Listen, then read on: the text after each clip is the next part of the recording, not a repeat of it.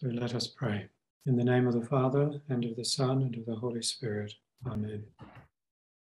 Lord, have mercy on us. Christ, have mercy on us. Lord, have mercy on us. Christ, hear us. Christ, graciously hear us. God, the Father of heaven. Have mercy on us. God, the Son, Redeemer of the world. Have mercy on us. God, the Holy Ghost. Have mercy on us. Holy Trinity, one God. Have mercy on us. Holy Mary. Pray for us. Saint Joseph. Pray for us. Illustrious Son of David. Pray for us. Light of the patriarchs. Pray for us. Spouse of the Mother of God. Pray for us. Guardian of the Redeemer. Pray for us. Chaste guardian of the Virgin. Pray for us. Foster Father of the Son of God. Pray for us. Watchful defender of Christ. Pray for us. Servant of Christ. Pray for us. Minister of salvation. Pray for us. Head of the Holy Family. Pray for us. Joseph most just. Pray for us. Joseph most chaste. Pray for us. Joseph most prudent. Pray for us. Joseph most valiant. Pray for us. Joseph most obedient. Pray for us. Joseph most faithful. Pray for us. Mirror of patience. Pray for us. Lover of poverty. Pray for us. Model of workmen.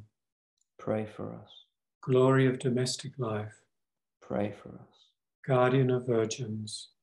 Pray for us. Pillar of families. Pray for us. Support in difficulties. Pray for us. Solace of the afflicted. Pray for us. Hope of the sick. Pray for us. Patron of exiles. Pray for us. Patron of the afflicted. Pray for us. Patron of the poor. Pray for us. Patron of the dying. Pray for us. Terror of demons. Pray for us. Protector of Holy Church. Pray for us. Lamb of God who takes away the sins of the world. Spare us, O Lord. Lamb of God who takes away the sins of the world. Graciously hear us, O Lord. Lamb of God who takes away the sins of the world. Have mercy on us. You made him the Lord of his household. And prince over all his possessions. Let us pray. God, who in thine ineffable providence did choose Blessed Joseph to be the spouse of thy most holy mother, grant that as we venerate him as our protector on earth, we may deserve to have, have, have him as our intercessor in heaven, thou who lives and reigns forever and ever. Amen. In the name of the Father, and of the Son, and of the Holy Spirit. Amen.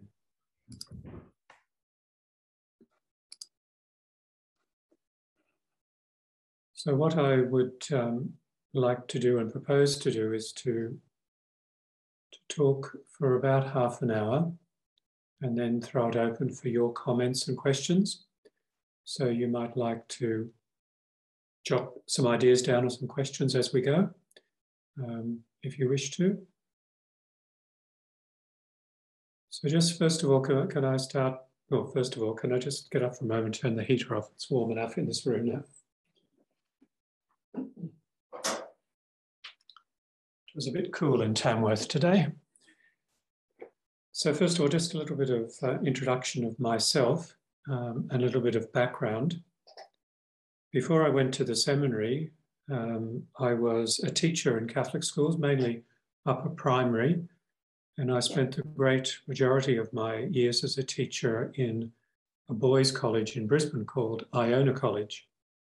So most of my teaching life was to do with the education of boys and, and young men.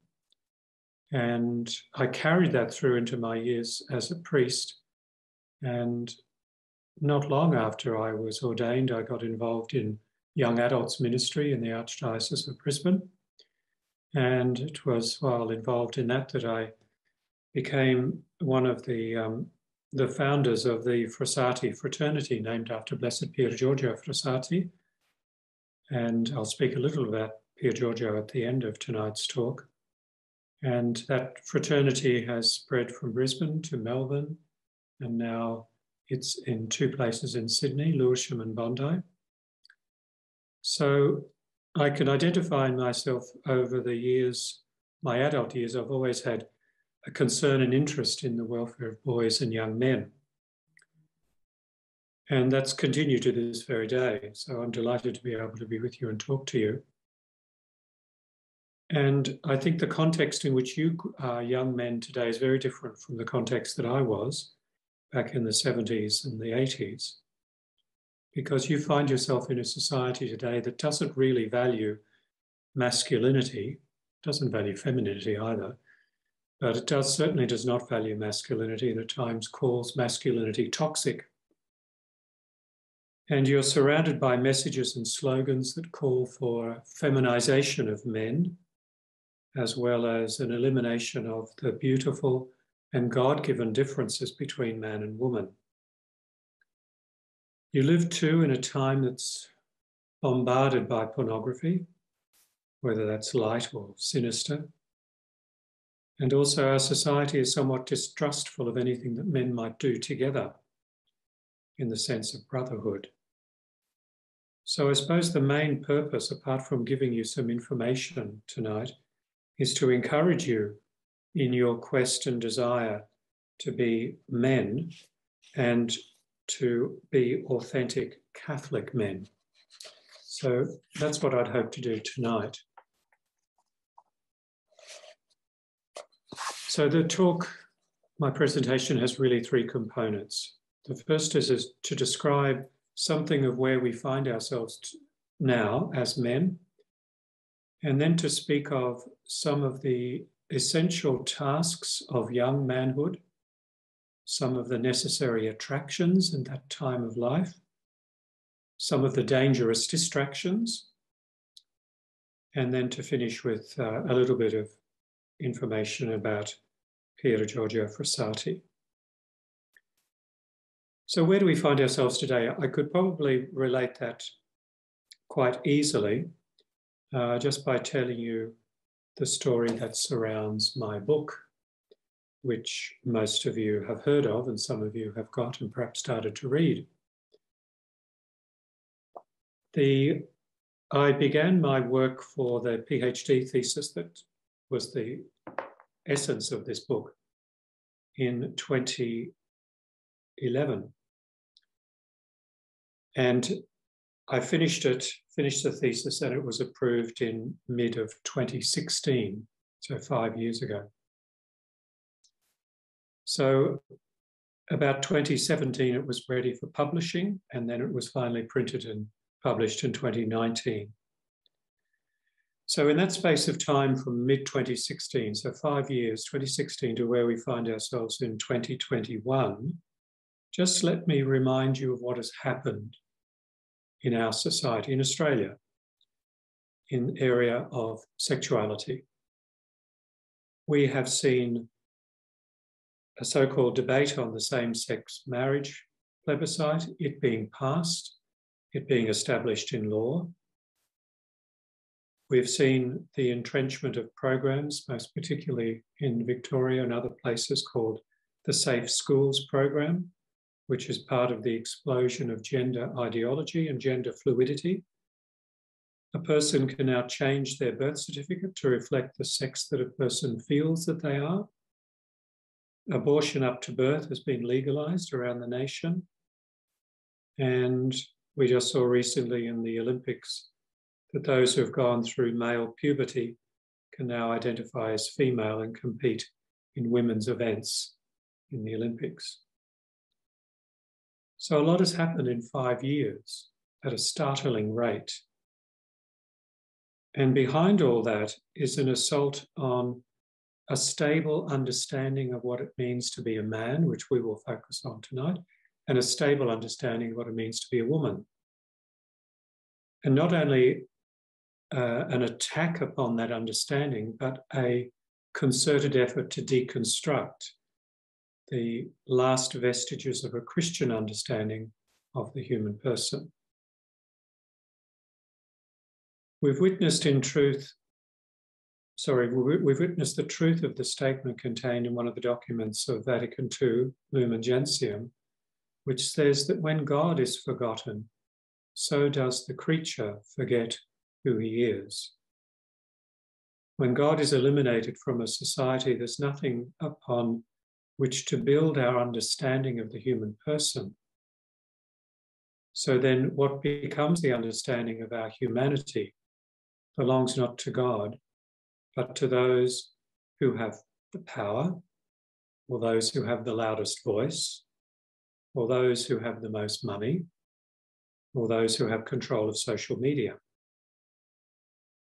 So I propose to you, and I'm, i know you agree, that the only best way to understand what it means to be a man and what it means to be a woman is to ground the conversation upon God and the truth that God revealed to us through Christ and held by his holy church.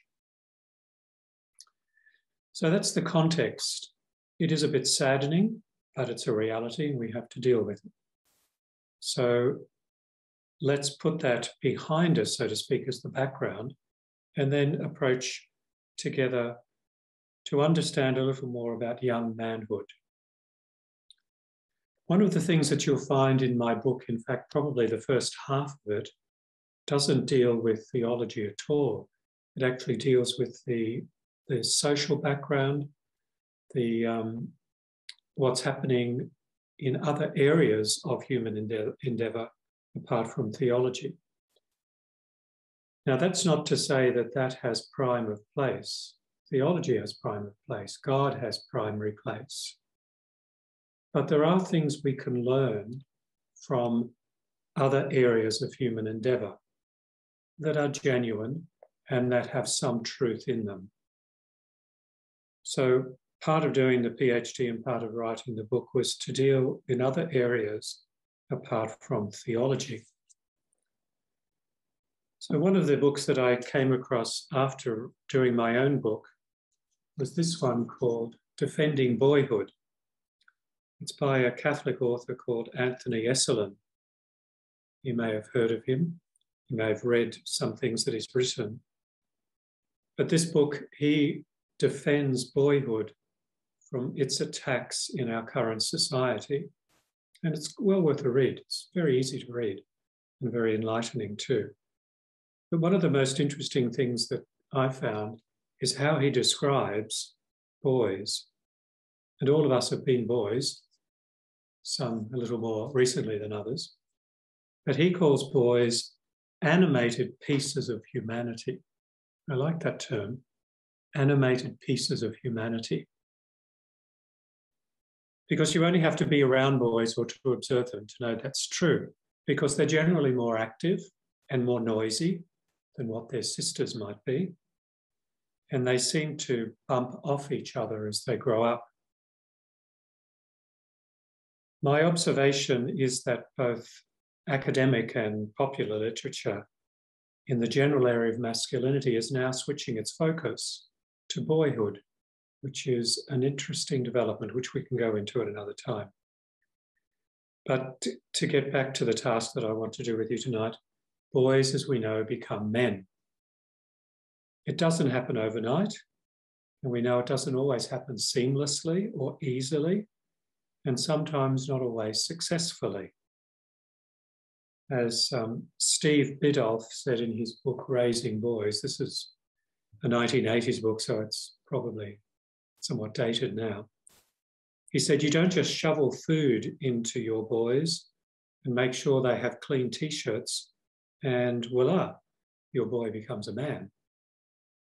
There are many dangers to and obstacles to navigate, many tasks to be undertaken so that these animated pieces of humanity that are boys journey over sometimes an interesting, sometimes a scary, sometimes a dangerous landscape to become men. So, what are the necessary tasks of a young man that lead a boy from the years of adolescence to the years of early manhood? Before I launch into that particularly, let us remember that for 2,000 years, our church has called young men to excellence and to sacrifice. And this was all properly ordered to the greatest cause of all, and that is eternal salvation. The church, through its engaging boys in serving at the altar, through its orders of consecrated life, through its orders of chivalry, recognized and allowed for the masculine yearning to give oneself to a higher and to a worthy cause. And that's something that boys and young men have to a great degree. Women have it as well, but they have it in a different way. If I could just to, to digress, for women, it's normally directed towards other people. And that's the way that God has made women because the crowning of their femininity will be in motherhood, whether that's biological or spiritual. But the crowning of masculinity is fatherhood, whether that's spiritual or biological. And to be a father means to be prepared to sacrifice, to give yourself for something. So the fact that boys and young men want to give themselves to something that's higher and more worthy than themselves is the beginning of this growth towards fatherhood. So, to show you another book, which is very worthwhile, an author called John Eldredge. He's a Christian, not a Catholic.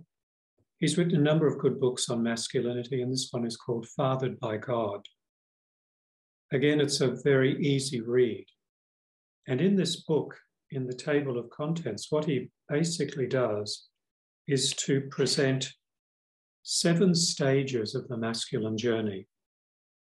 It's a good biblical number, seven. And it begins with uh, the first two that I won't talk about tonight, which is early boyhood or uh, preschool up to about towards the end of primary school, is he calls it being a true son of a true father. And then boyhood from around about the age of 10 up until, say, 14, 15, it is to be a beloved son. And then he launches into the three that I will speak about tonight. And he's titled them, and their titles are engaging and interesting too. The first one that I'll talk about is the young man as a cowboy. And I'll give you the other two as we come to them. And then after those three, then he goes into the stages of later life, which he calls king, and that's about middle age, and then sage, which is the time of being an elder. So let's begin with this first one, which is the young man as a cowboy. This is the stage of late adolescence.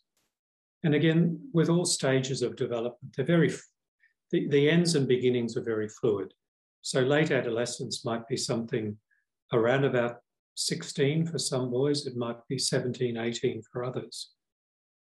But one of the things that is defining of this stage in a young man's life is that the boy needs to know that certain things and needs he has to experience if he's going to progress on the way towards manhood. And the first thing he needs to know and experience is that he possesses a genuine strength.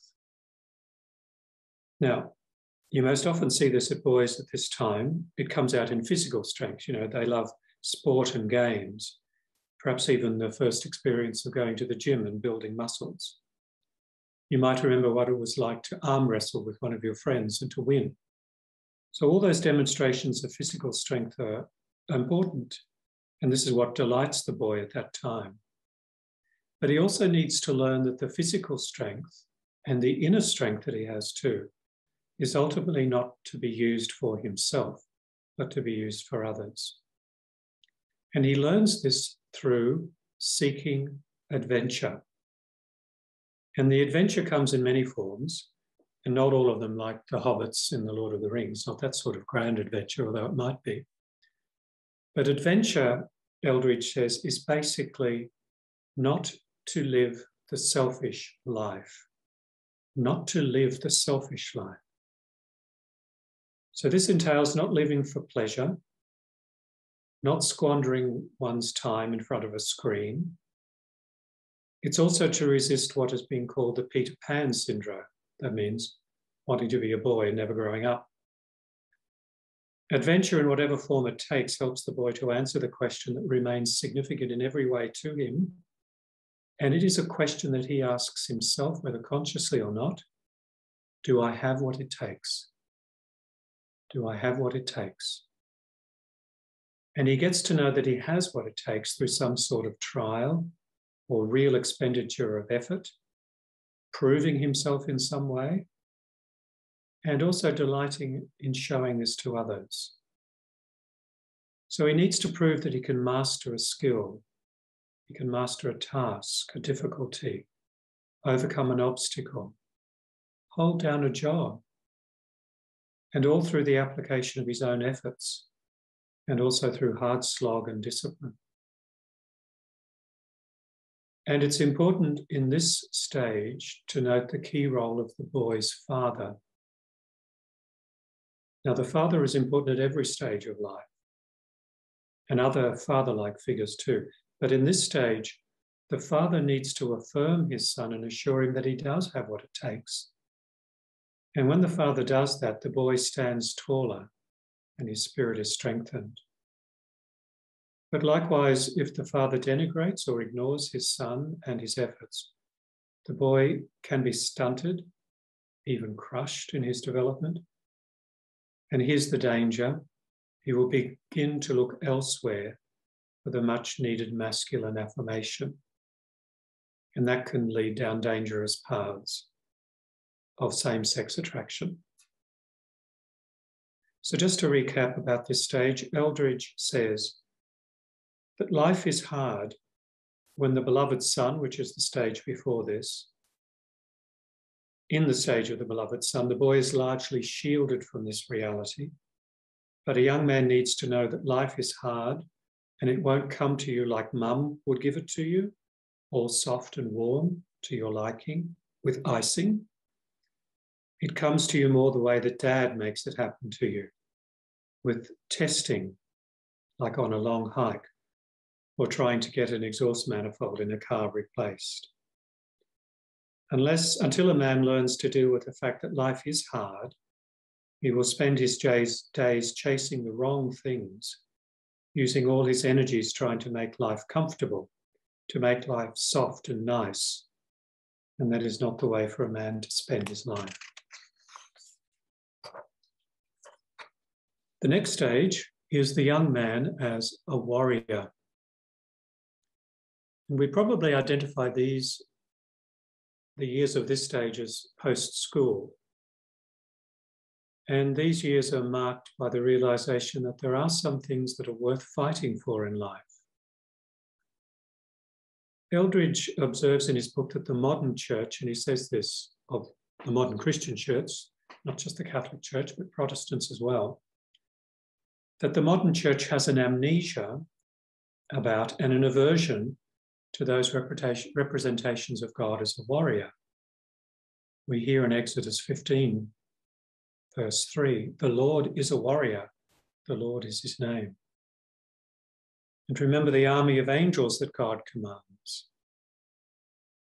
If there's a, an amnesia about God as a warrior and an aversion to those representations of God as a warrior, then this, this has led, Eldredge says, and I personally agree, to a demasculinization, or to put another way, a feminization of the church in recent decades. Maybe some of the images of Jesus that were somewhat saccharine and feminine haven't helped. Maybe the zeal that he felt for his father's house when he made a whip of cord and drove the merchants out of the temple is glossed over. Jesus was a man who knew that some things were worth fighting for. Well, so what is it worth fighting for? What's it worth being a warrior for? Well, put simply, whatever is good, whatever is true, whatever is beautiful.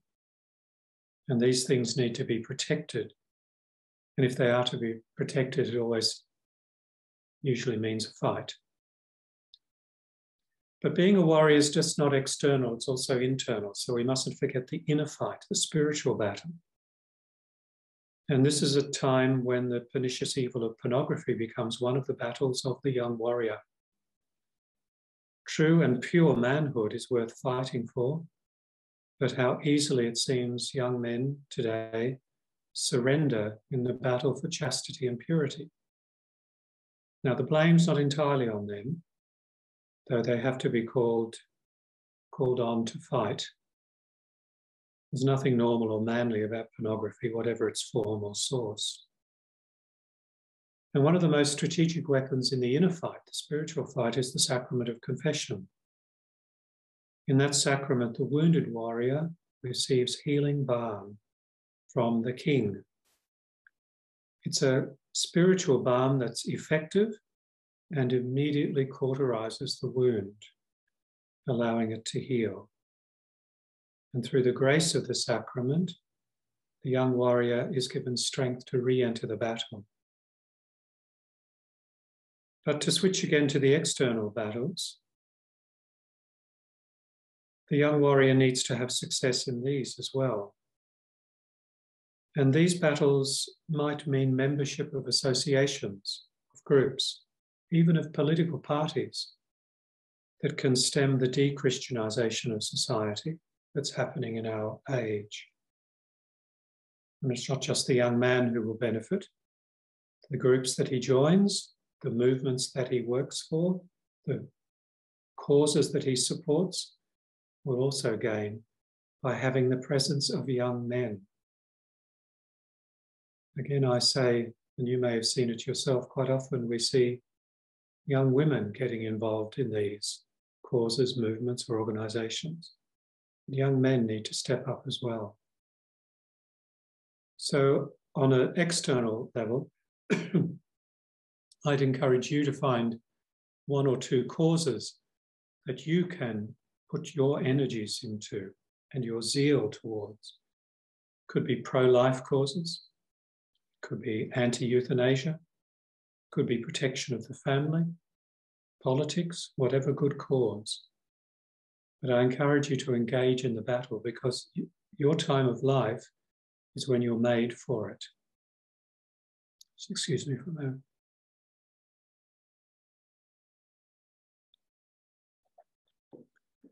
Lastly, we as men, no matter what our age, have to be on the watch not to be like the first man, Adam. Remember how he surrendered to some sort of paralysis and passivity when the evil one came to attack his beloved and the human race. We know what happened as a result of that.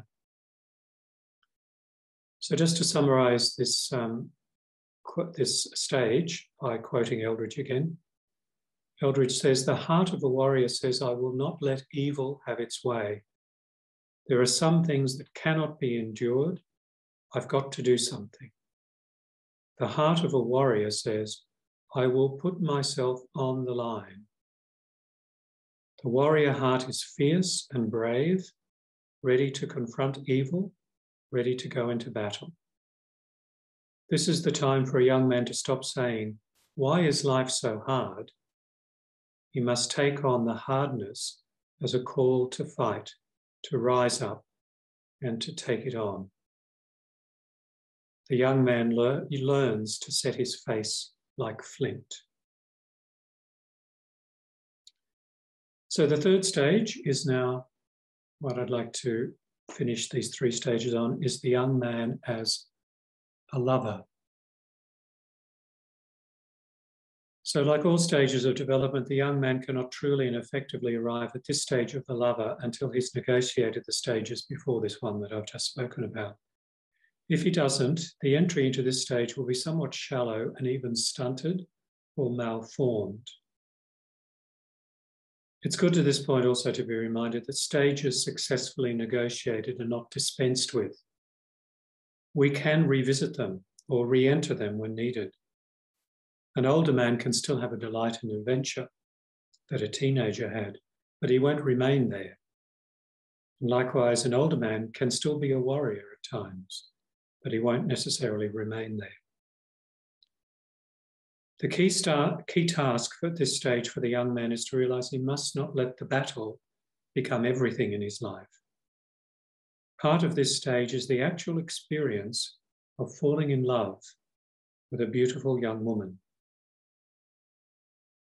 A young woman who, sorry, a young man, probably a young woman too, but a young woman, sorry, I said it again, a young man who is head over heels in love is delightful to witness. His world is turned upside down and there's nothing else for him but that beauty. And this is what we call infatuation. And it's meant to be there, it's meant to happen. But eventually, it has to mature. And hopefully, with one young woman, that infatuation will develop into romance and then into love and then into marriage. But equally, there must be the attraction to beauty itself. And this is where a young man has, has what's called an aesthetic conversion. He discovers that while the battle is needed, there is another longing within him. Sometimes he doesn't know it, sometimes he doesn't know what he's longing for. But this can be the time in his life where music and poetry, a film, or a book can stir him like it never has before. It's somewhat like his soul is undergoing a second birth. And this awakening to beauty can lead a young man to the heart of God because it is God who first lifts the masculine heart above the mundane and awakens a longing and desire for himself, who is all beauty. It is in this that the young man first experiences what St. Augustine said Our hearts are restless, Lord, until they rest in Thee. So, apart from discovering, hopefully, a beautiful young woman, this is also the stage of deepening the interior life, the life of the soul, spiritual life. And I suggest that every young Catholic man at some time during this stage should go on retreat. Of course, the style of the retreat has to be manageable. Don't do a 30 day retreat as your first ever retreat, but a weekend retreat where there's some silence, time for personal prayer, communal prayer, and of course, the Holy Mass. But of course, with this spiritual awakening, it's also the time of vocational discernment. And for most young men, this is the discovery of that beautiful one whom he wishes to marry. But equally, also for some, it is the discovery of the beauty of God and the thrill of giving one's manhood and one's life to Christ and his church.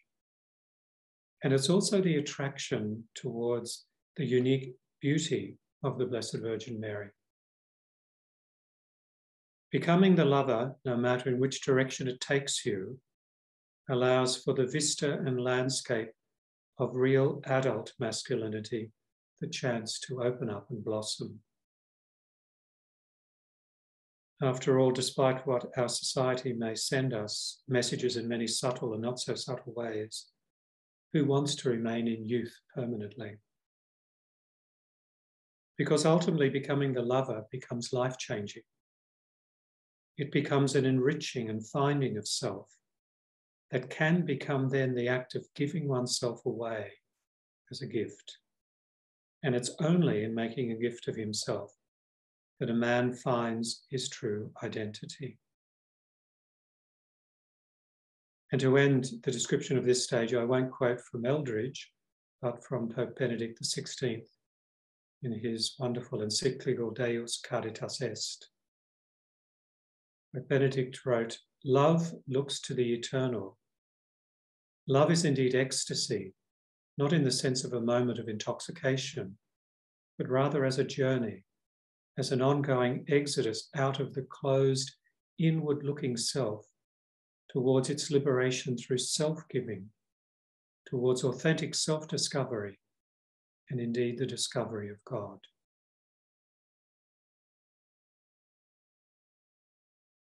Just one other reference to my book uh, before I finish with a few words about Pier Giorgio Frassati. In my book on page 89, it's in a, in a section titled Mythopoetics.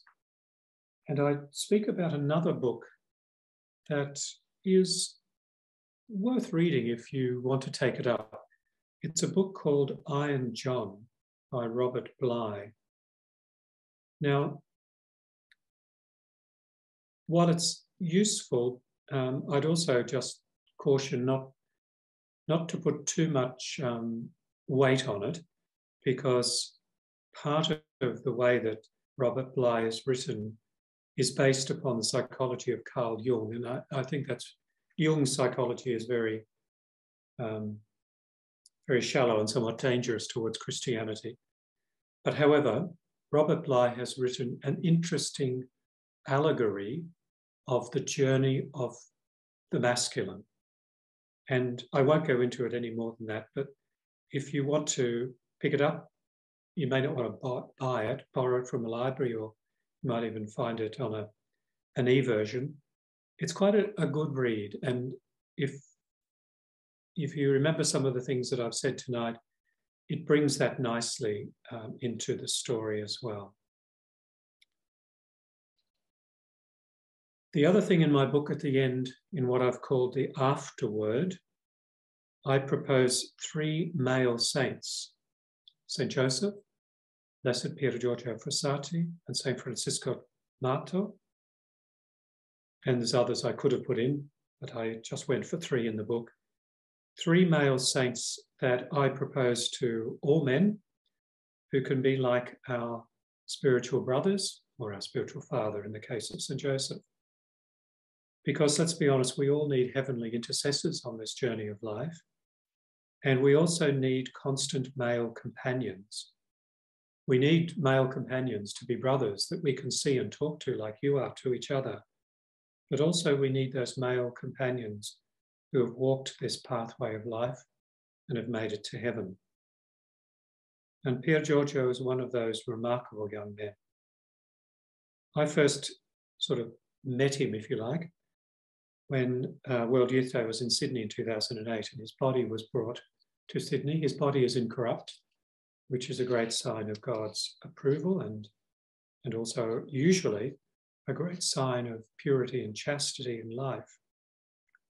And since I first met him, I've, I've fell in love with him. And I've got countless books on him.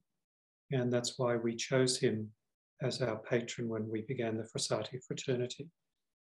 So let me just briefly tell you four things about him that I propose to you as four solid pillars on which to build your young your life as a young man and your growth into uh, maturity and vocational discernment. The first one is a sacramental life. You are fortunate to be Catholic young men and to have access to the sacraments. Pier Giorgio went to daily Mass from about the age of 12 or 13. It was quite uncommon, even in very Catholic Italy of the early part of the 20th century. By the way, he died when he was very young. He died at the age of 24, the same age as Saint Therese of Lisieux. And I think, no, not Saint Bernadette, she was 35. Um, anyway, it was quite uncommon because uh, it, while Italy was very culturally Catholic, there were many who sometimes didn't go to Mass except Christmas and Easter. In fact, Pier Giorgio's father, he never saw his father go to Mass. And his mother went to Mass every Sunday, but he never saw her go to Holy Communion. So he went to daily Mass and daily Holy Communion from about the time he was 12 or 13. and he went to regular confession as well. And his life was subordinated to those things. He was a great sportsman, a great skier and mountain climber. And with his friends, when he would go into the mountains on weekend trips, he would always make sure that there was the possibility to go to Sunday Mass.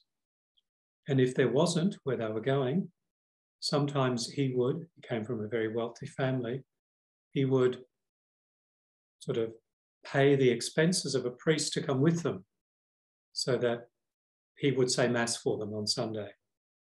And if he couldn't do that, he wouldn't go himself. He wouldn't miss Sunday Mass. The second pillar is a life of charity. Now, in Pier Giorgio's life, this took the form of being a member of the St. Vincent de Paul and serving the, uh, the poor who lived in the slums of Turin, where he grew up and lived. And Turin was a big industrial town, and many had flocked to the country from the countryside to work in the factories, and they were paid low wages and they lived in awful conditions. By the time that Pier Giorgio was 21, he personally, from his own money, was supporting 120 families that he visited and supported, buying food for them, buying medicine for them, buying clothes for the children so they could be properly dressed for their first Holy Communion, and so on. The third pillar is chastity. After he died, the priests who knew him gave evidence, and so gathering evidence for his cause for beatification. They gave evidence that he was always pure and chaste. So, in other words, they, without going into details and breaking the seal of confession, they were hinting that he must never have confessed a mortal sin against purity or chastity. That makes him a wonderful guide and support as we struggle in purity and chastity. The fourth pillar is what I've called authenticity. Pier Giorgio is one of those unique people to his friends and even to strangers and acquaintances. They sensed something about him, even if they couldn't put words to it.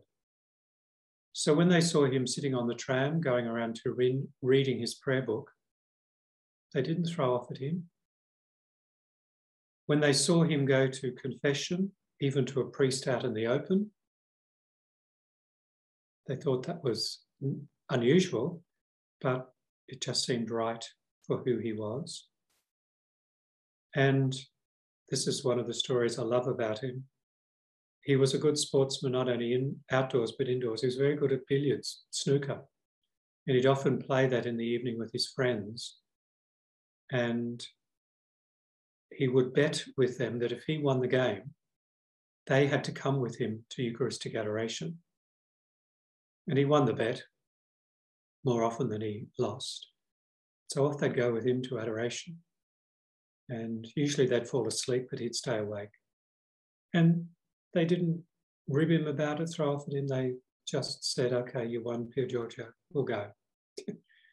so a sacramental life, a life of charity, pursuit of chastity and purity and authenticity. So, just to conclude, St. Ambrose, who brought Augustine into the church, is reportedly to have said to the young St. Augustine before he was baptized, before Augustine was baptized, Ambrose said, Augustine, only the truth will turn you into a man. Only the truth will turn you into a man. And the truth is certainly a collection of ideas, it's a philosophy, it's a sense of logical statements, it's a statement of our beliefs, it's living in line with our faith and also human reason. It's an experience of personal integrity. It's all of those things. But at the very foundation, truth is a person. It's God who became man, Jesus Christ. He said, I am the way, I am the truth, I am the life. So the closer you come to Jesus, the more you conform yourself to him, the more of a man you will be. And that, coming close to Jesus and conforming yourself to him, is the journey for the whole of our life, whether you're a boy, a young man, or an older man. So Christ is the pathway, and Christ is the end of this journey of life as a man, and heaven is our homeland. So, to use the name of your group and the name of my book, I encourage you, Esto Vir, be a man. And don't be fearful, and don't be apologetic for being a man. So I think I took a little longer than I expected, but I thank you for, for listening. So now it's over to you. Thank you very much, Father. I don't think anyone was complaining about time. Don't worry. thank you. Um, I like it how you did things in three as well. Good number. um, yeah, does anyone have any questions off the top of their head?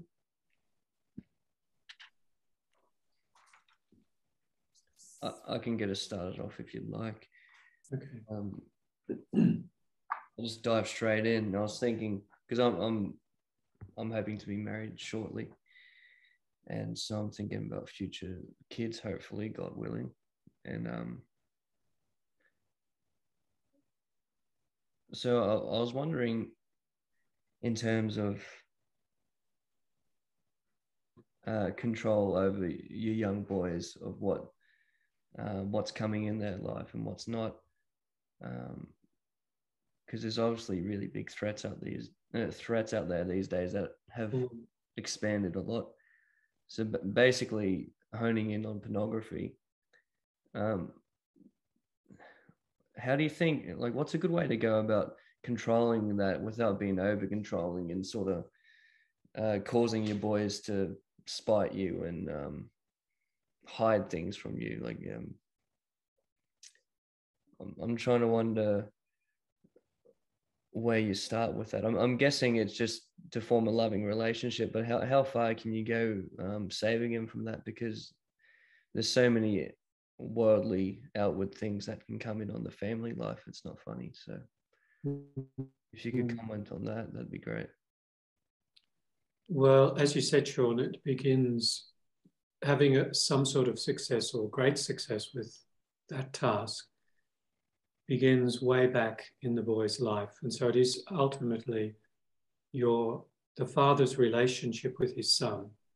That's the important thing.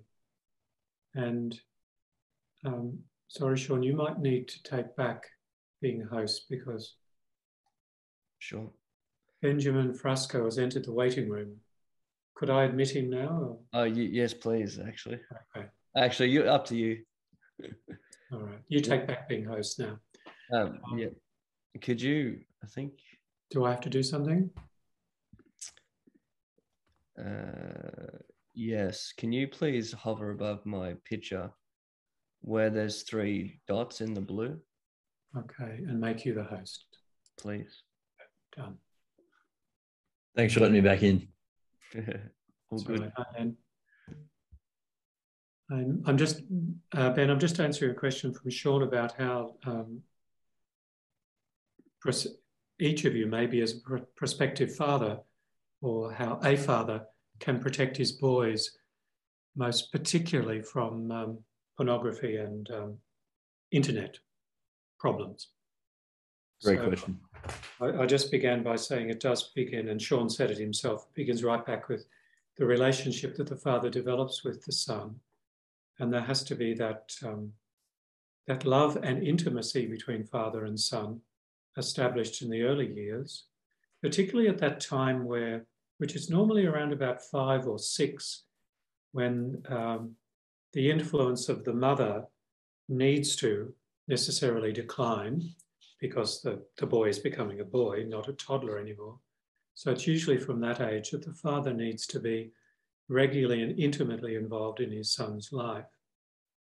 And I, and I use that word intimacy um, purposefully because it's not just a, a, means of being close to, but rather it's actually a, a trust between the father and the son that and from the father's perspective, it comes from giving him those messages of he is the beloved son and he does have what it takes to be a good boy or a man, and that the Father is proud of him, and that the Father delights in him. Exactly what God the Father said to God the Son at the, his baptism and transfiguration. So the Father needs to go those messages to his Son, and that builds up a very trusting relationship. That then, when the boy wants to talk about things or when he has a problem, there's a greater likelihood that the boy will open up to his father.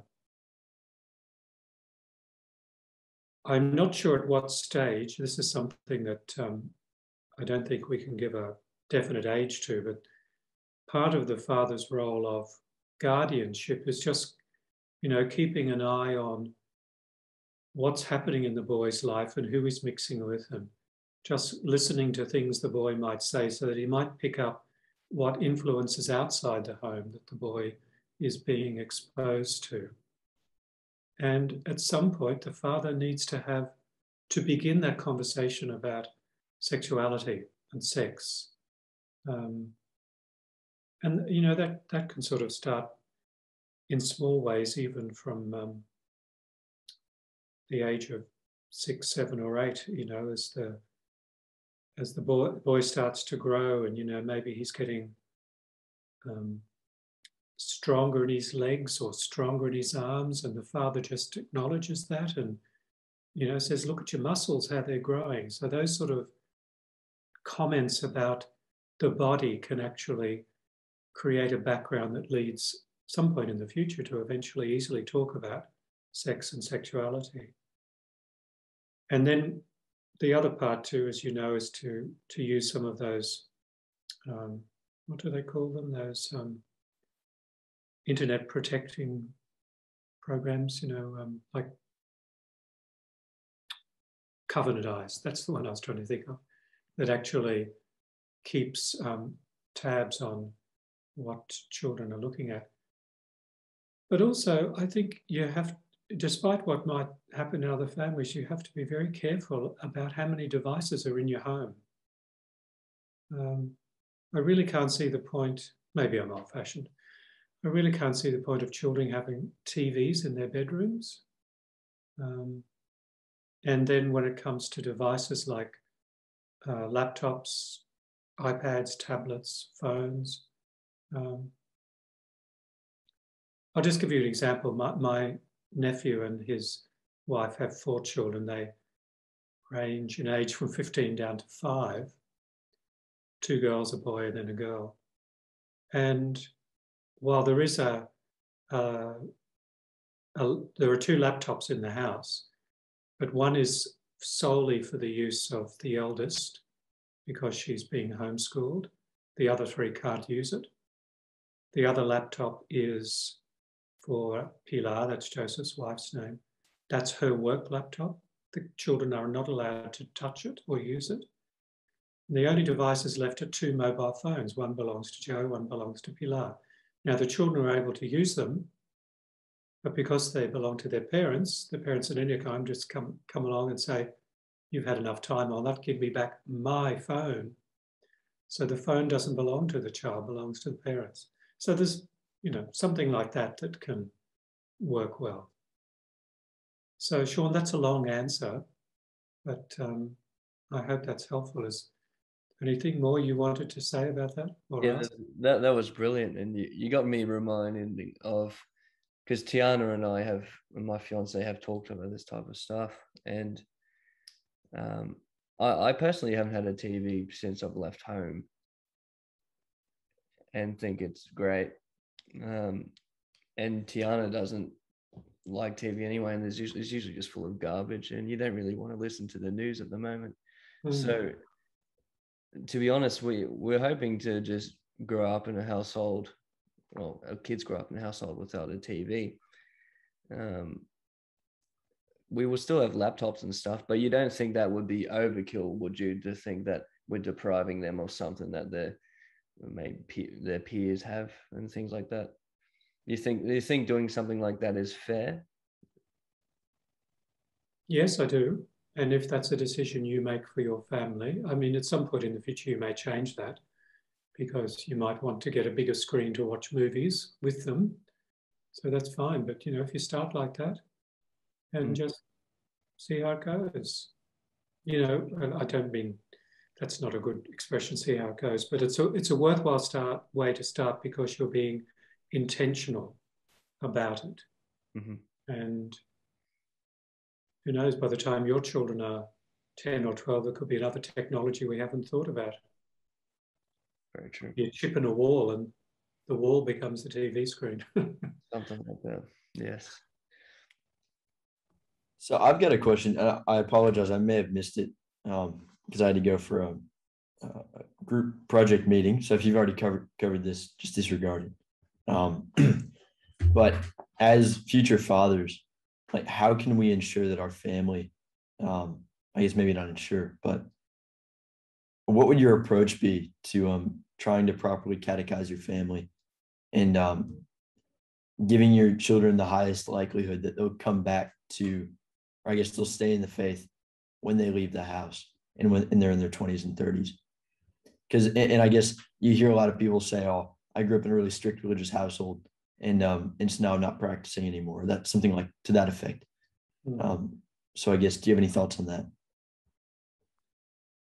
Yes, I have three thoughts. The first one is that there is no recipe for 100% success. And I don't mean that to be pessimistic. Uh, I say that because we have to be honest and recognize the existence of free will. And so there are always going to be people in the history of the human race who will walk away from Christ, as we'll hear in this Sunday's Gospel.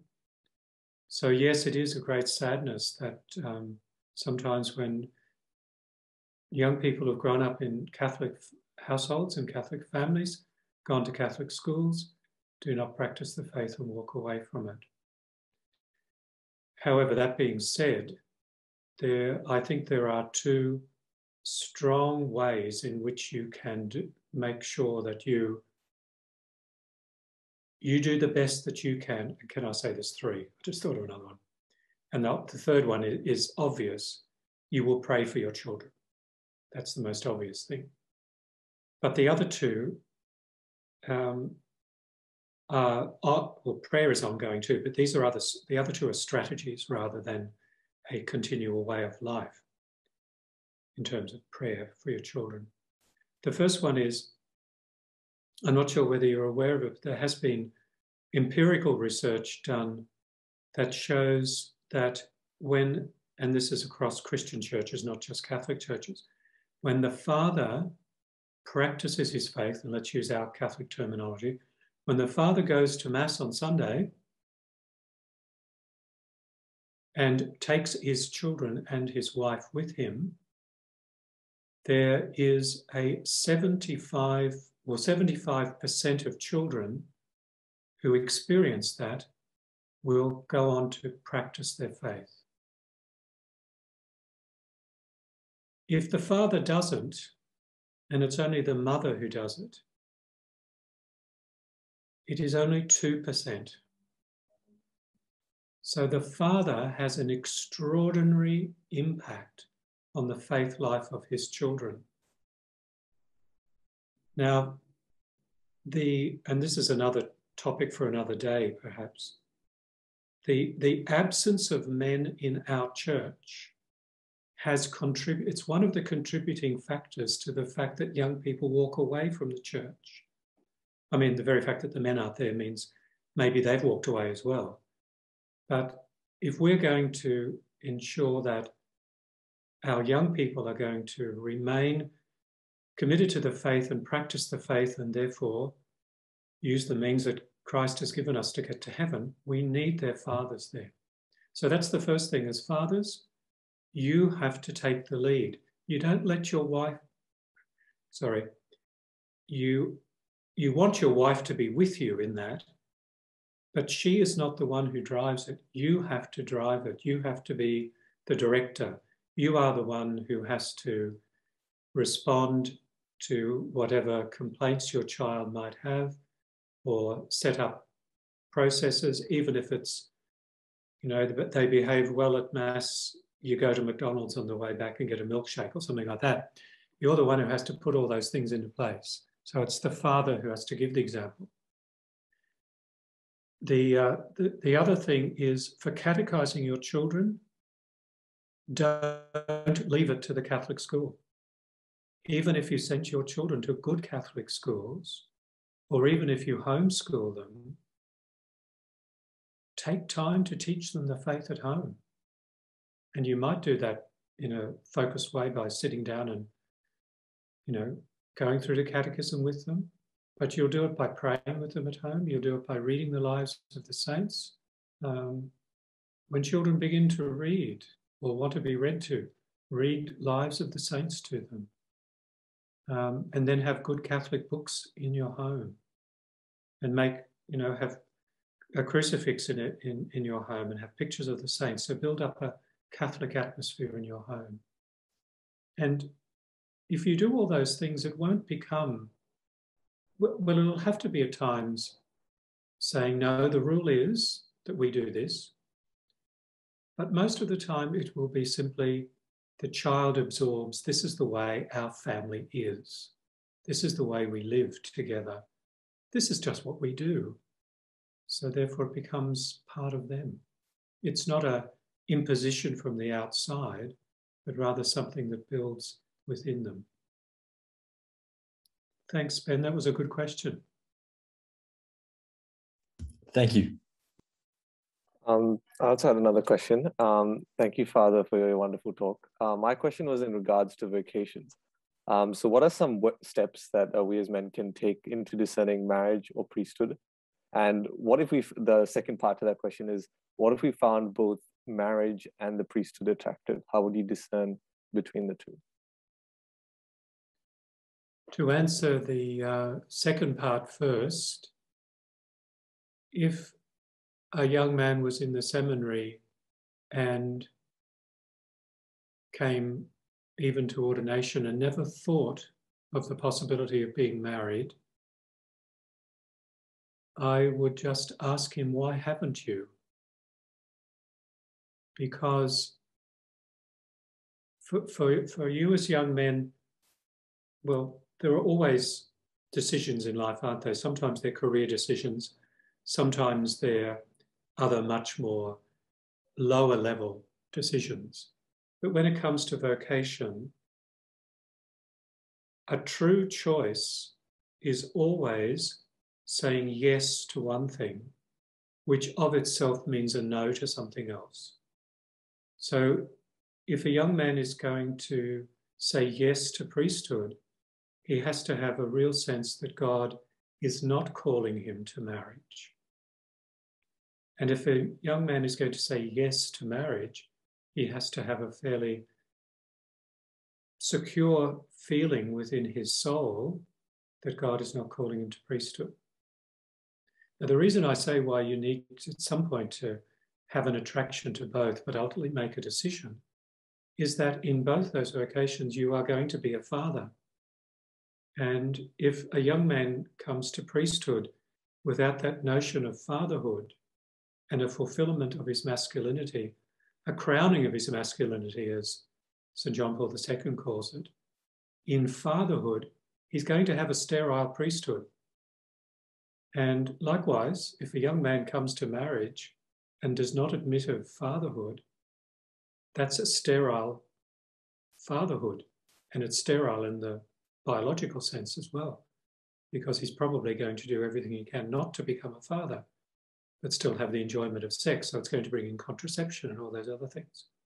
So it's very important that um, after a certain time, you have to have a sense that you're going towards one.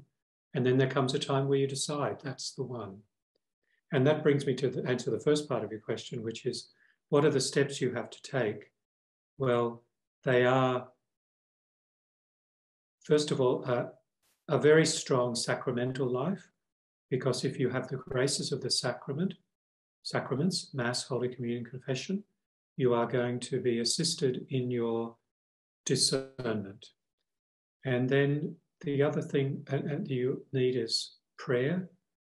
You should pray regularly that you will hear the voice of Jesus calling you to the discernment that he, to the vocation he wants. And then, thirdly, you need to have some trusted people that you can talk about it with.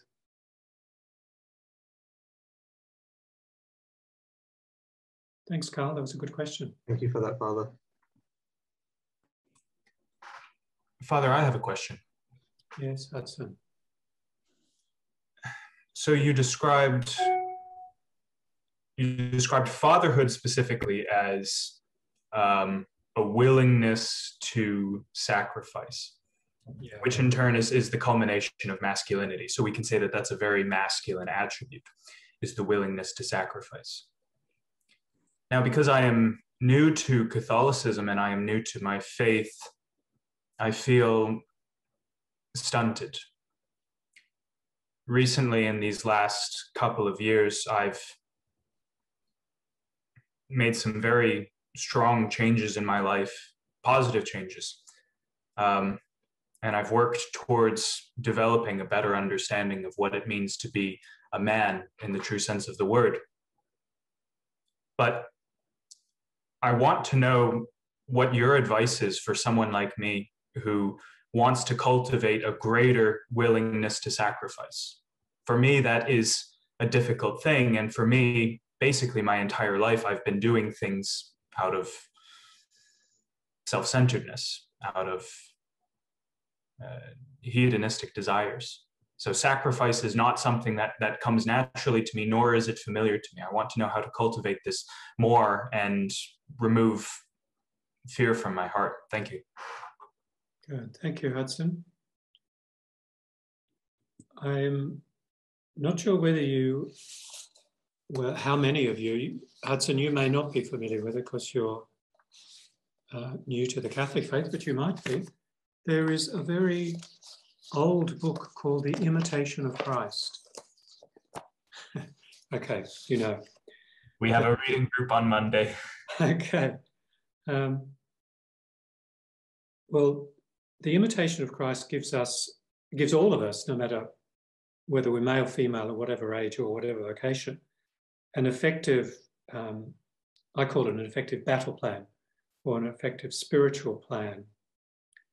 And it is something that we need to be doing all through our life, sometimes in different um, dimensions, sometimes in different depths.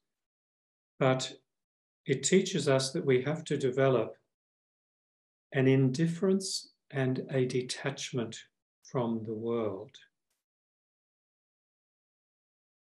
And then it says, foster in yourself a love of discipline and practice each day some denial of self. So it's particularly that last one, but the other two are needed as well because I don't think we can deny ourselves unless we have somewhat of a, a love of discipline and a detachment from the world. So it's part of our wonderful Catholic tradition to practice penance and mortification. And the church calls us to do that every Friday in honor of our Lord's death. And then, of course, it calls us to do it in a, a greater way, more intense way in the season of Lent. So, the beginning of developing the desire to sacrifice oneself and the, then the capacity to actually do it begins with those daily acts of self denial. And they don't need to be um, enormous, they don't even need to be um, obvious. They can be simple things like if you like a spoon of sugar in your coffee, you don't have it on one day. You just deny yourself and you say, This is so that I can practice denial of self and so that I can learn to have dominion over my own desires. And that will lead also to a a greater capacity to resist temptation as well, particularly in the area of purity and chastity. Um, and I think that's why it's particularly the mark of a man to sacrifice. is because until you have reached some maturity in detachment from the world and a love of discipline and a denial of self, then um, you won't be ready to sacrifice. And a thought just popped into my head. Um, remember those um, the sort of training that happens in the military. You know, they go into boot camp and they actually get broken down and they do awful things, but so that they can be made up again into soldiers who would be prepared to actually give their life in battle. So the boot camp and the military are using what the Christian church has known for centuries, but in a slightly different way. So that those daily acts of self-denial, are a bit like spiritual boot camp. So that we'll be ready for those big battles. Thanks, Thank you, Father. That was extremely insightful. I think Darwin has a question now. Good. Um, uh, you mentioned about sports and gyms and uh, how you can cultivate like discipline in those pursuits. Um, ever since the lockdown, I've, I've been feeling I don't know, less of a man in a way. I don't have access to that outlet anymore. Mm-hmm. Um, I was wondering how I could jump back up uh, during the lockdown. Well, I first of all, I, I not surprised that you feel that way because as a young man, you, you do need to have that sense of physical strength. And it is the time of life where, yeah, you like to, you need to go on long runs, or if you're not not a runner, you need to, you know, get on the football field and play the game. Um, and it's necessary. It's not only necessary for your health, but it's also necessary for your sense of well-being. Mm-hmm. So um, I, I I hear what you're saying, if I can just use that overworked phrase. Um, and it is real. So you have to find ways in which you can get that physical, um, that physical burst and also expend that physical energy. I, I mean, my, my years as a teacher, I can give you an example, and this is with boys rather than young men. You know, boys around the age of 10 often if you could just sense that they were flagging in some way in the classroom, you just take them outside make them run around the oval for three times and then take them back in. They could learn so easily. So it's, it's necessary for us as men to, to get the body working because then the mind works and then the, the soul is at peace as well. So I don't know how you can do that in terms of where you are and, and lockdown, but um, but keep uh, keep on it. Keep finding ways in which you can keep active and, and keep strong because it is very important for you. Mm-hmm. Thanks. Thank you. Good question.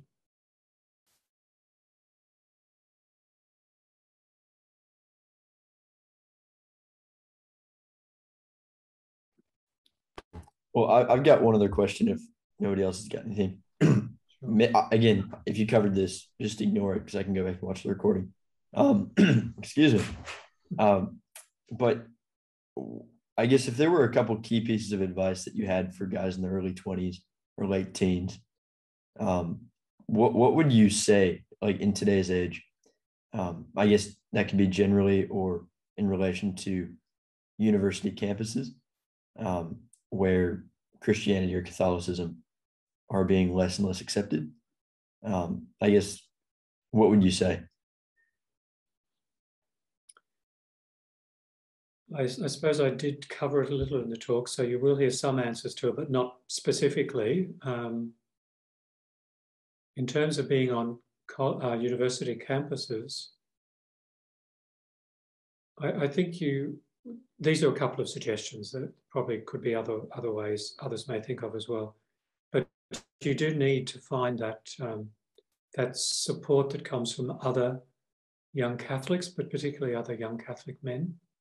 Um, one, one of the strengths of femininity is how easily they form networks and how easily those networks become support systems.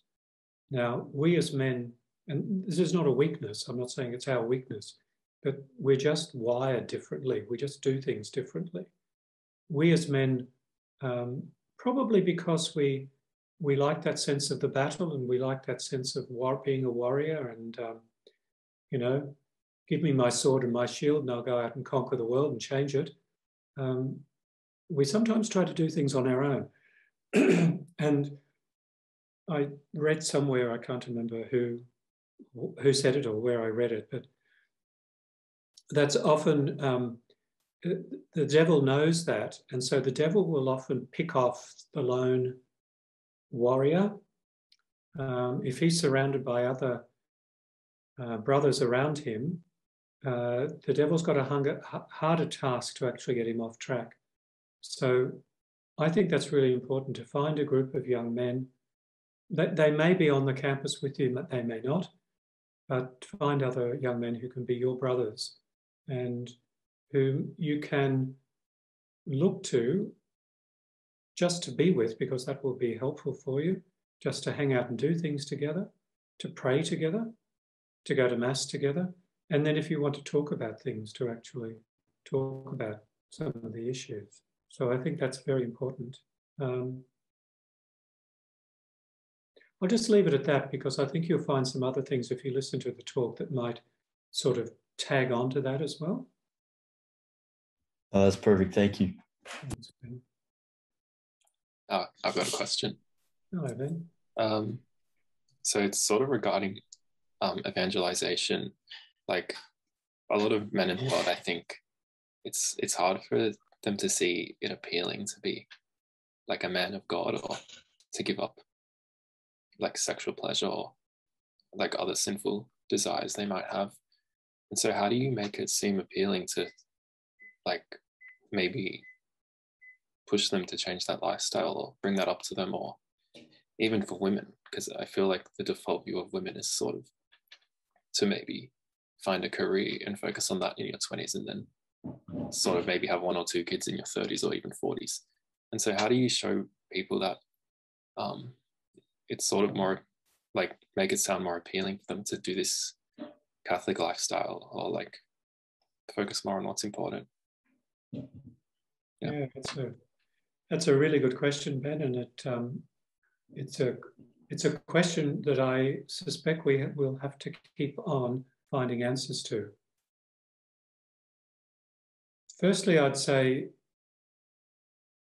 take some consolation and some encouragement from our Lord Himself, He who was who is the Son of God, perfect in every way, omnipotent in every way, didn't have a hundred percent track record. He lost one of the twelve. So we're not going to always succeed. And secondly, we as an individual person, or even the group that's just here together now, cannot change the world. We just do our part to fit into God's awesome plan to convert the world. And even God knows that that won't be 100% successful. And as our Lord told St. Margaret Mary and um, a few other visionaries, that his Sacred Heart grieves over that. He doesn't just shake his head and say, well, oh well, that didn't work with them, so let them go. So we can't convert the world, and you can't convert everybody that you may come across. And you can't answer all the erroneous, false, and um, misleading and dangerous ideas that you'll come across in society. So, what you can do though is first of all be an authentic Catholic man. So strive for authenticity yourself. It's, it's, a, it's going to be a prudential decision. That means you make a decision in the circumstances. There, in other words, there's no one way to, uh, there's no one plan or one answer.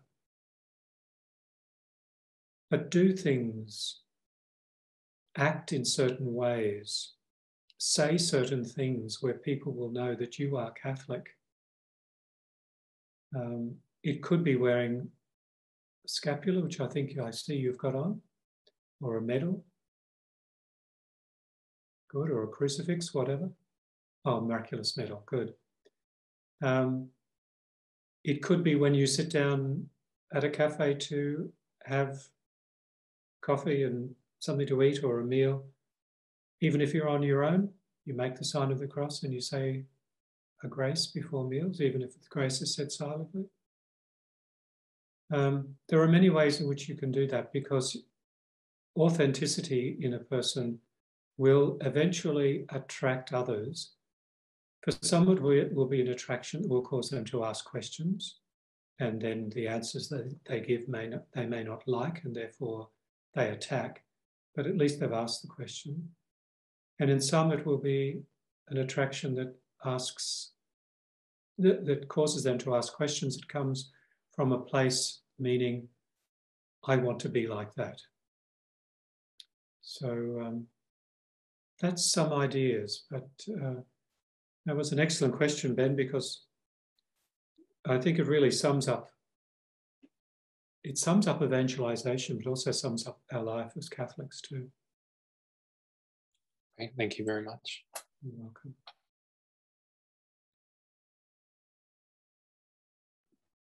I don't, I don't want to keep you too late, Father, but I've, I've got one more question and I think Okay. wrap up after that. Um, I, like you know, I was in the seminary before, and now I'm going into married life. Uh, I still love the idea of giving my life to the church in whatever way God wants. Um, oh, I wanted to ask if you knew much about third uh, third right orders, and if Yeah. because they don't really pop up anymore. Do you think that there should be a revive in this area? That um, husbands and wives should be actually becoming third right Dominicans or Franciscans and things like that. Do you think that's um should should that be ramping back up at this stage? Do you think? I think it would be a worthy thing to happen, yes. Um, I would probably um, just advise to, well, well, th- there's, there's two, two third orders that I'd probably say are worthy of, looking at, only because in some of the other third orders, the, to put it um, charitably, the life of the church in the last 50 years has infiltrated into them. So I don't think they're as solidly spiritual or as solidly authentic in their Catholic um, spirituality as what they were. Um, the third order Carmelites are, from people that I've met, who are third order Carmelites. And you don't come across them very often these days, but the third order Dominicans, um, I think, are also, particularly if they're attached to one of the, the newer branches of the Dominican order, like the Dominican sisters that are in Sydney and in um, Ganmain in the Wagga Diocese. Um, the Dominican friars that I've met, particularly the younger ones, uh, are very good, strong um, young men. So I think that perhaps the Dominican order in the male order is having a revival. So yes, sorry, I babble on. Um, it, it is a good idea, yes. Oh, good.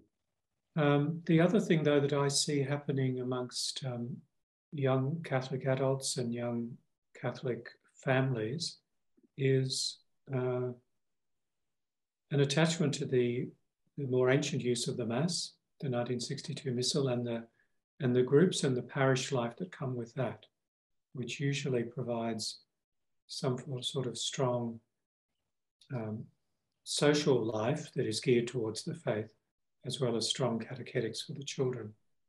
So, um, yeah. Yeah, well, that, that, that's what I was going to ask. Um, the third order Carmelites you mentioned, are they attached to the old rite? No, probably not.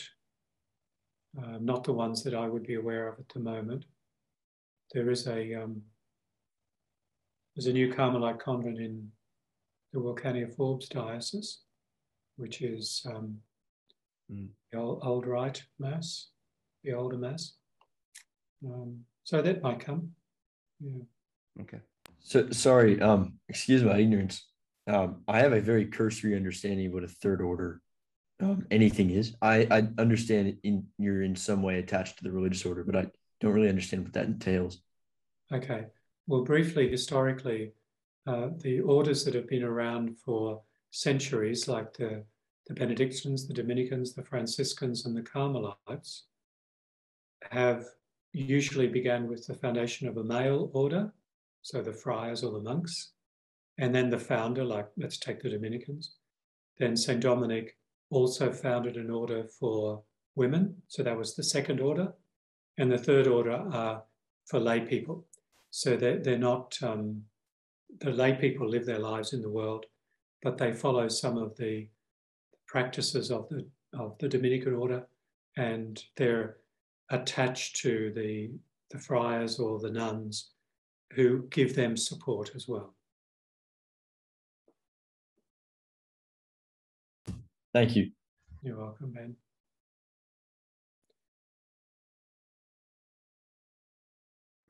Thank you very much, Father.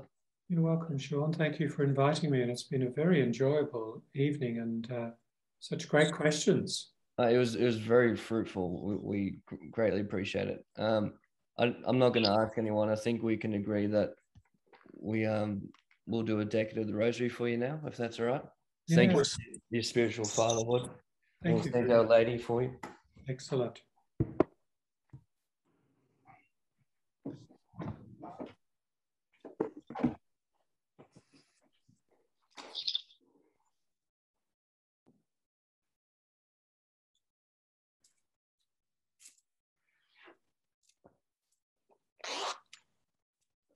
If you could respond, that would be great, Father. Okay. In the name of the Father and the Son and of the Holy Spirit. Amen. Amen.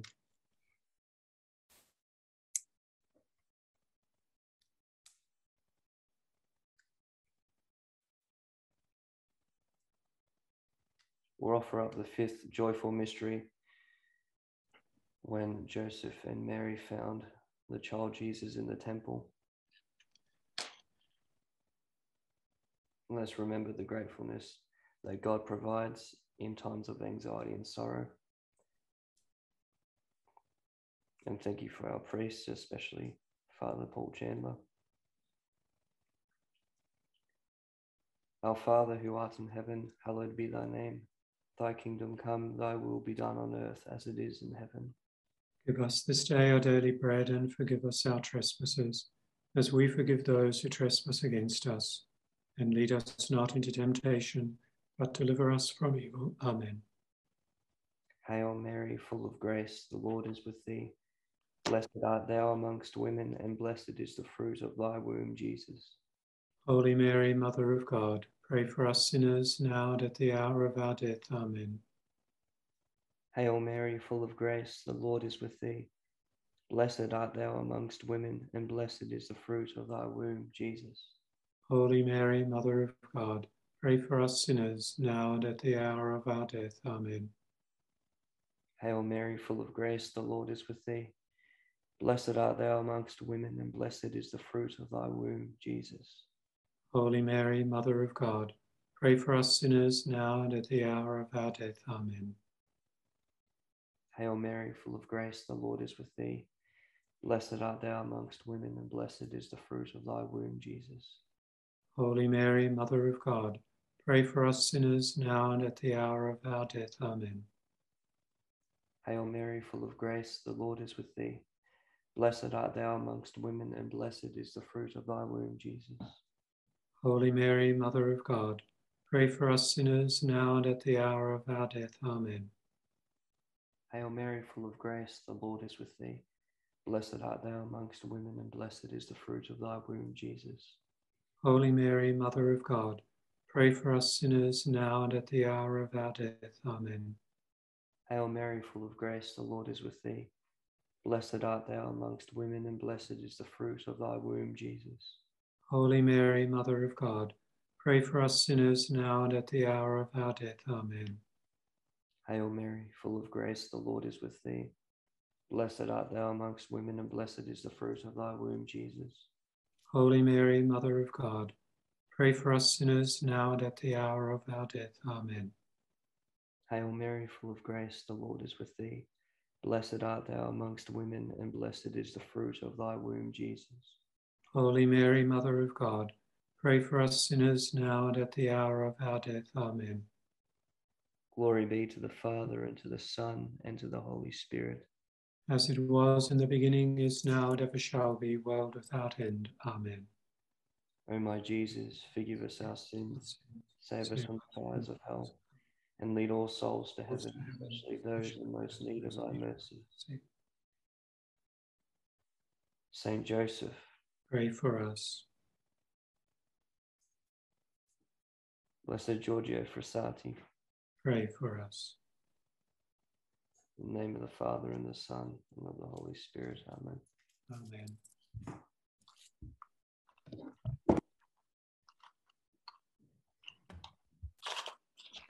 Well, that was great. Thank you guys so much. And it was I enjoyed it, and God bless you all. And hope we meet again sometime. Yeah, Thank you, Father. It's Appreciate such a rewarding evening. Thank you, Father. Thank you, Good. it. We appreciate it. Thank you very much. Okay. God bless.